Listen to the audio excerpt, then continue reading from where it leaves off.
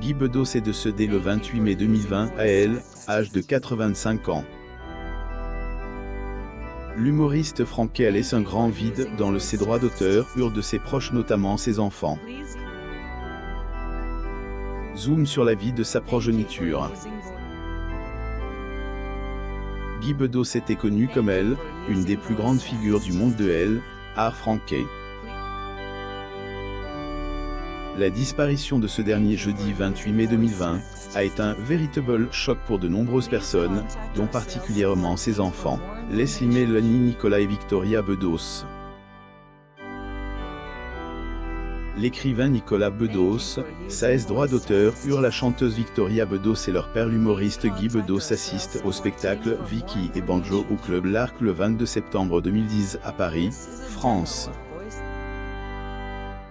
Photo Getty Images Les premiers enfants mis à part une carrière couronnée de succès.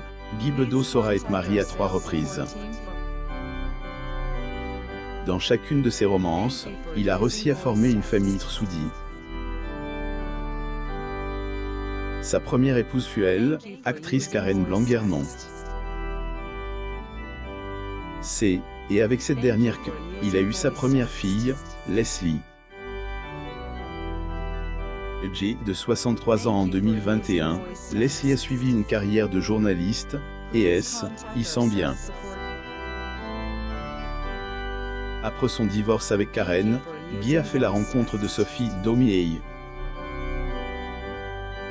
Le couple va ainsi accueillir Mélanie, J, de 43 ans, et un fils adoptif, Philippe, qui décédé en 2010, suite à la maladie de Huntington. Les derniers de la fratrie en 1978, Guy S., est marié avec celle qui deviendra sa veuve, Joël Berco. Celle-ci a donné naissance à Nicolas, qui lui aussi a pour une carrière à succès en tant que comédien et réalisateur. En dernière position, la dernière niée Victoria Bedos membre de sa famille, cette dernière a aussi choisi une carrière dans le monde de elle, art, car elle est écrivaine. De sa vie les histoires d'amour de Guy avaient été particulièrement insolites. Découvrez les femmes de la vie du comédien, qui tant de fois aura marqué le public. France, vers 1963, Guy Bedos et Sophie Daumier lors du tournage du film Dragie au poivre de Jacques Baratier. France, 1963. Photo, Getty Images.